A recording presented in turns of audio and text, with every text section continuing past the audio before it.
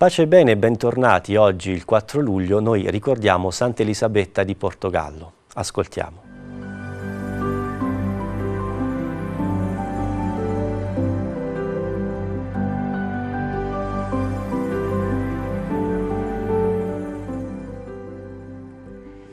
Elisabetta nacque a Saragozza nel 1271 Figlia del re di Spagna Pietro III, venne data giovanissima in sposa a Dionigi, re del Portogallo, da cui ebbe due figli. In quello che fu un matrimonio difficile seppe dare la testimonianza cristiana che la portò alla santità. Alla morte del marito donò i suoi averi ai poveri e ai monasteri, diventando terziaria francescana. Dopo un pellegrinaggio al santuario di Compostela, in cui depose la propria corona, si ritirò nel convento delle Clarisse di Coimbra, da lei stessa fondato. Dopo la morte, avvenuta nel 1336 ad Estremoz in Portogallo, il suo corpo fu riportato al monastero di Coimbra. Fu canonizzata a Roma da Urbano VIII nel 1625.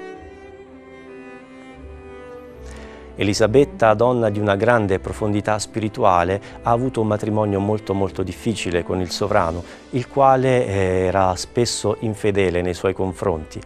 Lei ha avuto sempre un atteggiamento di grande misericordia nei confronti del marito e nonostante i tanti torti subiti le è rimasta non solo fedele, non solo al suo fianco, ma è stata anche una preziosa consigliera, il cui beneficio è stato veramente grande anche per tutto il popolo di quel tempo. Che cosa ci insegna questo esempio? Ci insegna l'amore di una donna che sa guardare oltre. Pensiamo a tutti i casi della vita quotidiana in cui in una storia d'amore avviene questo episodio tragico, quello del tradimento. È un episodio brutto che reca tanta tanta sofferenza, ma la bella notizia di questa testimonianza e del cristianesimo è che questa sofferenza si può superare. Allora preghiamo Santa Elisabetta proprio per questo, perché tutte le persone che sono state tradite ecco, riescano a superare questo momento, riscoprendo l'amore per la persona sposata, se è sposata, e quindi possano diventare portatori della misericordia di Dio. È un percorso particolare, ma io personalmente conosco tante coppie che hanno saputo affrontarlo.